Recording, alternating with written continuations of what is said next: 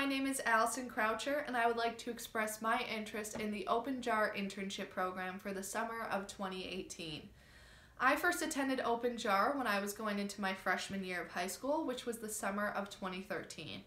Ever since this life-changing experience, it has been a dream of mine to become an Open Jar intern. I feel that there are some qualities that an Open Jar intern should have and that I also possess. These include organizational, time management, and leadership skills, as well as being a very task oriented person. So, in high school, I was president of Student Senate and campus ministry, peer ministry, and I was also the captain of my varsity tennis team for two years in a row. Currently in college, I'm assistant stage managing the University of Notre Dame's student led theater organization's production of Urinetown, and that has been a thrill. So I also currently have two jobs. I'm a nanny and I work at Wegmans, a local grocery store and top Fortune 500 company. At Wegmans, I started when I was 15 as a cashier and have worked my way through the meat department and sub shop.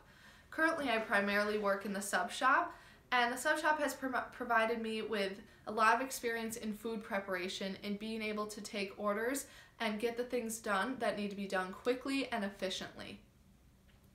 I, if I was granted the opportunity to become an open jar intern, I would jump at the chance to get to know the students, engage with the students, and help them push past their limits and recognize that their possibilities are endless.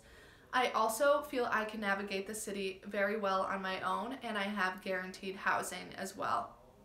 So I feel that there are students applying for this internship that might be just looking for a summer internship but I am specifically looking for a summer internship with Open Jar.